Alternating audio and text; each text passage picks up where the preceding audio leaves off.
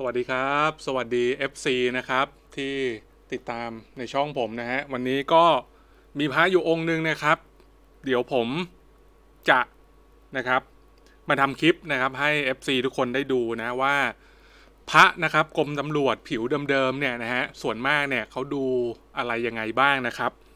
เผื่อสำหรับใครที่แบบว่าดูไม่เป็นนะฮะแล้วอยากอยากจะดูนะ อยากจะดูเป็นเหมือนผม หรือว่าอยากจะพิจารณานะครับกรมตำรวจ 80 ปีนะหลวงพ่อโสธรนะครับผมพูดถึงหลวงพ่อโสธร 80 ปีนะฮะใครอยากจะดูเป็นเหมือนผมพิจารณาผิวพระนะครับในเบื้องต้นนะครับหรือมีบางส่วนผมอาจจะบอกนะครับเทคนิคต่างๆนะการดูนะครับ ก็ต้องบอกก่อนว่ารุ่นกรมตำรวจ 80 ปีนะฮะมันก็ค่อนข้างฮอตฮิตมากนะครับมานานแล้วนะฮะโอ้โห นะครับ ก็พระตั้งแต่ปี 38 นะครับ อันนี้ก็น่าจะ 20กว่าปีแล้วนะครับ ก็นะครับเบื้องต้นนะการดูพระรุ่นนี้นะฮะถ้าพระเก่ามีอายุพอสมควรนะครับ ก็อาจจะต้องดูเรื่องผิวนะครับ เป็นส่วนสำคัญนะครับที่จะต้องดูดูความธรรมชาตินะครับนะวันนี้ก็เหลืออยู่องค์หนึ่งนะฮะนะครับ ก็เลยจะมาทำคลิปให้ดูโอเค เดี๋ยวเราเริ่มดูเลยแล้วกันนะฮะเดี๋ยวผมขออนุญาตสลับกล้องนิดนึงนะครับ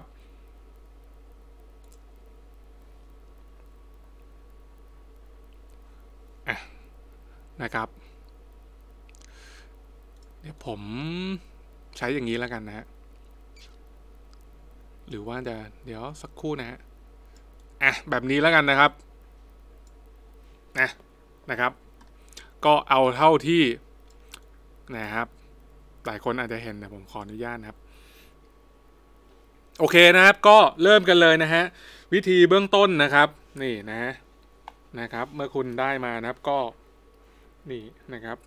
ประมาณนี้นะฮะเห็นไหมเอ่ยนะครับคุณก็เปิดมานะครับ ก็แน่นอนนะใช้กล้องตัวนี้เลย เดี๋ยวผมไม่แน่ใจว่า เดี๋ยวขออนุญาตใช้มือจับนะครับนะฮะเป็นไปได้ผมอยากบอกบอกแบบบอกสมาคมพระมากเลยนะว่าเวลาแบบสมมุติงานประกวดอย่างเงี้ยอยากให้นะครับหลายท่านที่เป็นเซียนเนี่ยรับพระนะฮะใส่ถุงมือก็จะดีนะครับ จะได้ไม่ไม่แบบ บางทีเหงื่อนะอาจจะไปโดนผิวพระนะครับ นี่นะฮะเห็นไหมเดี๋ยวผมขออนุญาตนะครับขยับให้เดี๋ยวผมซูมให้นะครับ นี่ประมาณนี้นะครับ ต้องบอกก่อนว่าพระเนี่ย เวลาสมมุตินำมาขึ้นกล้องนะครับ หรือว่าเนี่ยผมทำคลิปให้ดูเงี้ยบางทีผิวนะครับ ผ่านกล้องนะครับ ไม่ได้ใช้ตาเออเขาเรียกอะไรไม่ได้ใช้แสงธรรมชาตินะผิวพระเนี่ยอาจจะดูค่อนข้างยากนิดนึงนะครับ แต่วิธีที่แก้ไขนะครับเวลาหลายคนอยากจะเช่าพระนะครับ ก็บอกให้นะครับเซียนพระหรือว่าพ่อค้าเนี่ยนะครับไลฟ์หรืออัดเป็นวิดีโอก็จะดูได้ได้ได้ได้พอสมควรเลยนะ แต่อันนี้ผมอยู่ในห้องนะครับ ดังนั้นแสงเนี่ยก็จะเป็นแสงนีออนซะส่วนใหญ่นะผิวพระก็จะดูค่อนข้างยาก แต่เดี๋ยวถ้า ลงกล้องนะครับก็คือเดี๋ยวผมใส่กล้องอย่างเงี้ยให้ให้ให้ FC ดูนะครับ ผิวพระก็จะดูง่ายขึ้นนะครับ โอเคนั้นมาเริ่มเลยนะ เห็นไหมอาจจะสั่นๆนิดนึงนะ ก็ขออภัยนะครับ กล้องอต้องประมาณนี้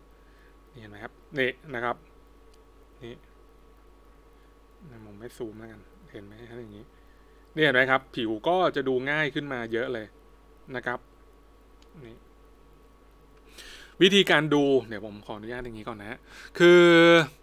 ผมต้องบอกก่อนว่าจากที่ผม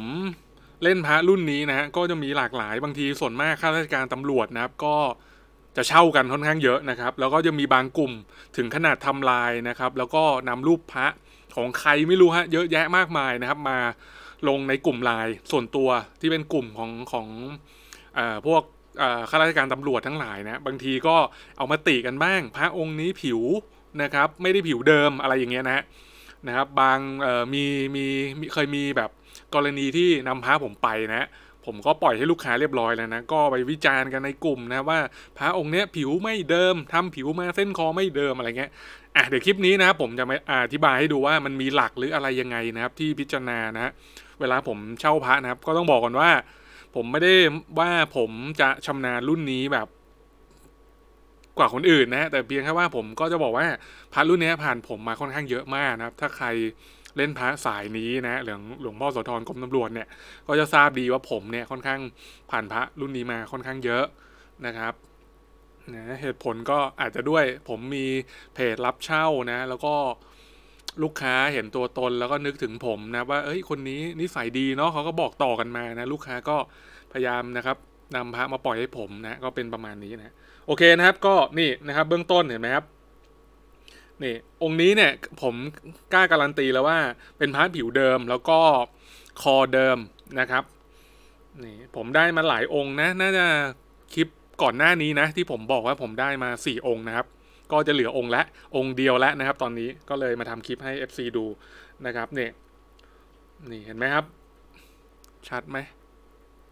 ไม่ชัด โอ้โอ้โอ้โอ้โอ้เดี๋ยวเดี๋ยวขออภัยนะครับ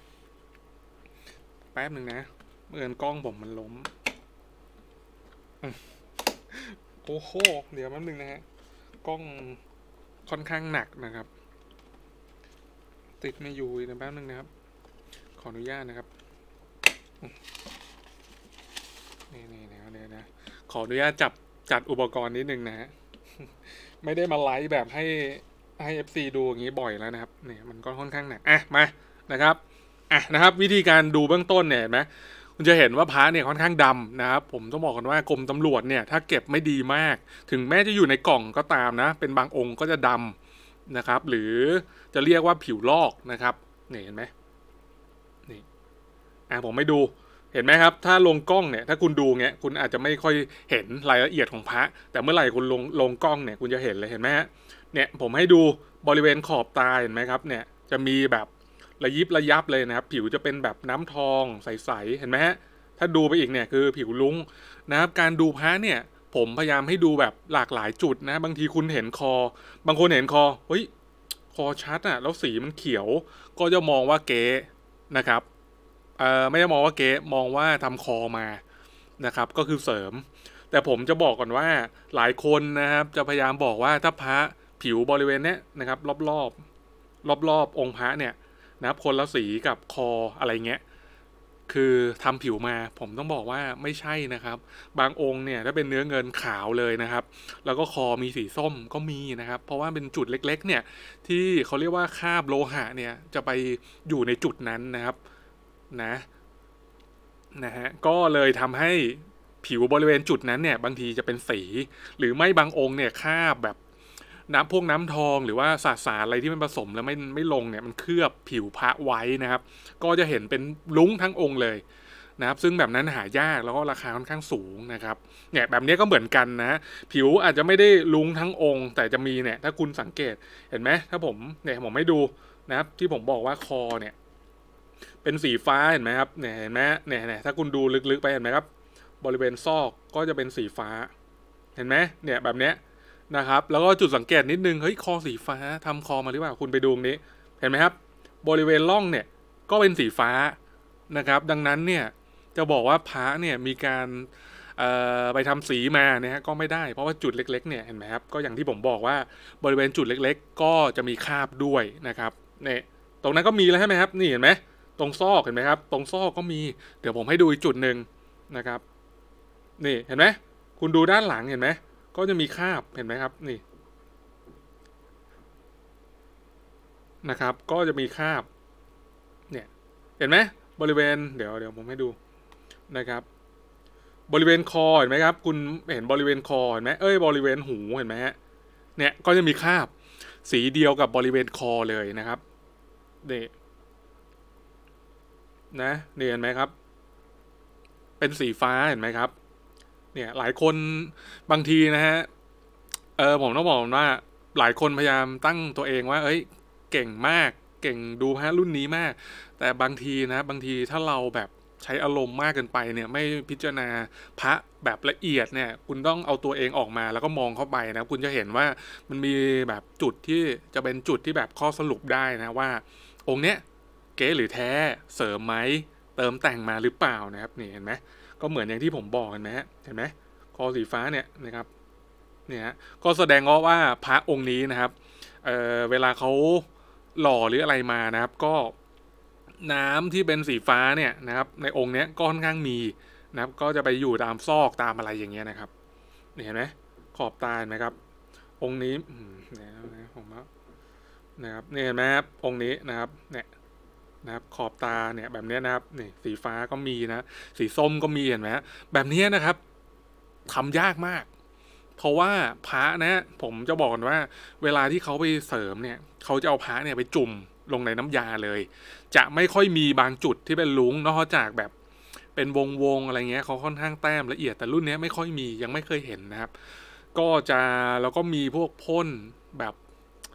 เออผมพูดยากมากเลย บางทีเขาก็พยายามทำพ่นเอาแบบ คุณเคยเห็นท่อรถใช่ไหมที่มันจะเป็นพวกเขาเรียกอะไรโครเมียมไหมหรือว่าที่เป็นสีฟ้าครับนั่นน่ะเขาก็เอาตัวนะมาพยายามทำให้พระเป็นสีแบบนั้น ซึ่งแบบนั้นน่ะนะครับ ผมก็จริงก็ไม่ได้แบบ ไม่ค่อยแบบนะครับ โอเคนะ เพราะว่าเราก็ศรัทธาในตัวหลวงพ่อเนาะเห็นคนที่ทำอย่างนั้นนะเราก็ไม่ค่อยชอบ เนี่ยแบบนี้นะครับ เนี่ยเห็นไหมเนี่ยก็จะมีพวกทองเห็นไหมครับ นะก็บอกแล้วว่าองค์นี้เป็นเนื้อเงินจุบสางสัตว์นะก็จะมีทองนาคนาคก็ค่อนข้างดำไปแล้ว เดี๋ยวผมหาจุดให้ว่านาคเนี่ยเดี๋ยวแป๊บนึงนะครับ ยังมีเห็นความเป็นนาคอยู่ไหมอ๋อมีเห็นนิดนึงนะนี่แบบนี้นี่เห็นไหมครับเห็นไหมเนี่ยเห็นไหมสีจะเป็นนาคเนี่ยแบบนี้นะครับ แบบเนี้ยยังไงผิวก็เดิม แต่เพียงแค่ว่าอาจจะเก็บไม่ดีนะครับนี่โอ้โทษนะนี่แบบนี้นะครับนะครับ เวลาผมเจอใครหลายคนก็จะบอกพาเก็บเดิมโอ้แบบราคาต้องดีมาก ก็ต้องไปดูอีกนะครับว่า เก็บเดิมจริงนะฮะแต่ผิวพระนะครับ ฟอร์มพระเนี่ยดีไหมนะอย่างเช่นองค์นี้นะครับก็อาจจะมีพระศกด้านบนนะที่ล่มบ้างล่มก็คือไม่เป็นเม็ดเนี่ยนะเนี่ยใช่ไหมถ้าคุณเห็นเนี่ยบริเวณด้านหลังเนี่ยแบบเนี้ยที่ผมเรียกว่าเป็นเม็ดนะครับแบบนี้ก็จะราคาดีโดยเฉพาะบริเวณหูเห็นไหมครับจะค่อนข้างคมเลย แต่มีลุงด้วยนะครับนี่แบบนี้ เนี่ยบริเวณเนี้ยคม ถ้าบริเวณพระพักด้านบนเนี่ยคมด้วยก็จะยิ่งดีนะครับนี่จมูกโด่งมากองค์นี้นะฮะเนื้อสามกษัตริย์นะครับผมต้องบอกก่อนว่า ปัจจุบันเนี่ยเนื้อสามกษัตริย์ค่อนข้างเป็นที่นิยมมาก เพราะว่าเวลามีข่าวข้าราชการตำรวจนะครับไปปฏิบัติงานต่างๆ โดนยิงมาส่วนมากก็จะห้อยกรมตำรวจที่เป็นเนื้อสามกษัตริย์ ซึ่งผมก็ไม่แน่ใจเหมือนกันนะครับแต่ต้องบอกว่ารุ่นนี้เนี่ยถ้าเป็นเนื้อสามสามกษัตริย์เนี่ยประสบการณ์ค่อนข้าง สูงมาก เท่าที่เห็นนะ น่าจะสูงกว่าเนื้อเงินด้วยซ้ำนะครับ เนื้อเงินที่เป็นพวกขัดเงากับยิงทรายนะฮะเนี่ยนะครับนี่แต่ก็ไม่ใช่ว่าผมจะแนะนำว่าให้ไปพิสูจน์อย่างนี้คุณได้พระมากรมตำรวจเขาไปลองยิงบางทีนะครับ ก็อาจจะเข้าก็ได้นะ บางทีเรื่องอย่างนี้ก็พูดยากนะครับ นี่นะครับ จริง ๆ รายละเอียดพระเนี่ยนะครับ จะดูก็ค่อนข้างเยอะมากเลยอย่างเช่นอย่างนี้นะบริเวณเนี่ยครับตาสิงเนี่ยหัวสิงเนี่ยถ้ามีเขี้ยวนะครับ ก็ถือว่าดี ก็ถือว่าพระองค์นั้นคมนะครับ นี่แบบนี้นะครับแบบนี้คือผิวเดิมแน่นอนการดูนะเห็นไหมเนี่ยผิวเดิม ผิวอาจจะดำมีมีดำกว่านี้ก็มีนะครับดำแล้วก็สวยก็มี แต่ส่วนมากพระที่ผิวดำนะครับเนี่ยบริเวณตรงน้ำทองเนี่ยจะค่อนข้างสีสวยเลย จะสีทองแบบสว่างนะครับ เท่าที่ผมเห็นนะ นี่เห็นไหมครับ คอชัดสามเส้นแบบนี้คือชัดนะครับ เรียกว่าชัดเลย พิมพ์นิยมนะครับ เดิมแน่นอนการันตีนะฮะนี่นิ้วทะลุเนี่ยครับเห็นไหมนิ้วทะลุคือบริเวณร่องนะครับจะเป็นนิ้วทะลุแบบนี้นะนะครับ อย่างที่ผมบอกว่าสังเกตผิวเดิมคือนี่คุณส่องนะครับ เห็นไหมคอเป็นสีฟ้านี่ครับบริเวณซอกตามร่องเนี่ยนะครับ ก็จะส่วนมากก็จะต้องมีสีฟ้าด้วยนะครับ นี่ อย่างที่ผมเห็นองค์นี้นี่เยอะเลยนะครับ ซอกแขนด้านหลังนี่ก็มีสีฟ้า ตรงบริเวณหูเห็นไหมฮะชัดไหมเอ่ยไม่ซูมเห็นไหมครับ บริเวณซอกนี่ตรงหูเนี่ยก็มีสีฟ้าเห็นไหมแบบนี้พิจารณาง่ายมากนะว่าเป็นพระผิวเดิมนี่นะครับเนี่ยแต่ถ้าผิวแบบไม่เดิมเนี่ยเนี่ยผมจะบอกให้ฟังนะครับเนี่ยผิวจะเป็นโทนๆแบบเนี้ย นะครับเขาจะทำให้โทนมันเอ่อเป็นสีโทนๆแบบนี้นะครับ นี่เนี่ยนะครับถ้าผิวเดิมก็จะค่อนข้างวาววาวแต่มีความเขาเรียกมีความฉ่ำนะครับ ในสีไม่ใช่วาวแบบใสนะครับ ใสก็ต้องดูอีกที ถ้าใสก็ต้องแบบคือผมพูดยากมากนะครับ ก็ต้องดูเป็นองค์ไปนะครับ นี่นะครับนะในผิวเดิมบางคนก็ดูว่า มีกำมะหยี่ไหมเห็นไหมคุณจะเห็นว่าองค์นี้มีกำมะหยี่ แต่บางทีบางคนไม่ชอบก็ปัดนะบางคนที่ดูพระแบบผิวเผินนะครับ ก็ถ้าไม่มีกำมะหยี่ก็บอกว่าเป็นพระไม่ผิวเดิมอะไรอย่างเงี้ยนะ ผมก็ไม่อยากให้ยึดติดขนาดนั้นนะบางทีกำมะหยี่บางทีเจ้าของอาจจะปัดก็ได้นะบบางทีผมอาจจะเป่าก็ได้ หรือพระผิวไม่เดิม แต่ผมเนี่ยหยิบตรงกล่องเนี่ยคุณเห็นไหมเนี่ยกล่องจะมีกำมะหยี่เห็นไหมครับ เนี่ยผมก็หยิบมาสักกำหนึ่งกระจุก ผมก็มาโรยตรงองค์พระเนี่ยก็ผิวเดิมแหละเห็นไหมฮะสามารถทำได้นะครับ บางทีก็นะครับบางทีก็หลายคนนะ ผมเห็น